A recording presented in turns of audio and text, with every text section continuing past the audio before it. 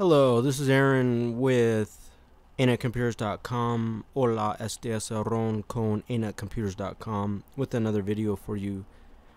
Today, I filed this one under PC hardware installation. S500 ScanSnap. Get your ScanSnap S510 scanner to work again. You cannot get your ScanSnap S510 to go online. You have a blue button with a white S in system tray, but it has a red circle and a red line through it. You have turned power on and off, rebooted that computer, but nothing helps. You can try connecting that scanner to a different USB port.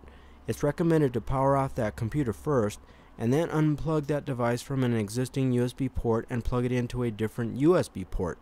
Hopefully, when you power on that computer, Windows XP will find that device again and it will work properly.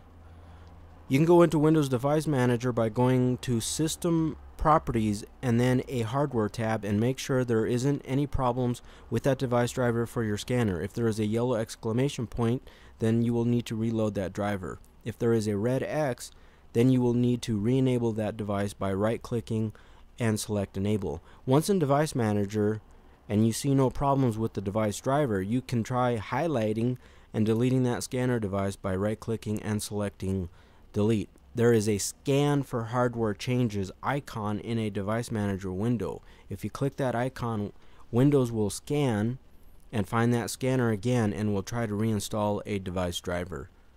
You could also try to update that scanner driver from within Device Manager instead.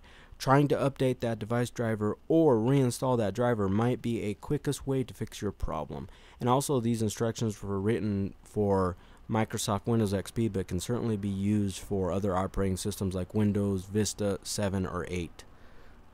Hopefully this information was productive. You can always browse to anetcomputers.com for other possible potential tips and information to help you fix your most common computer problems. Thank you for listening.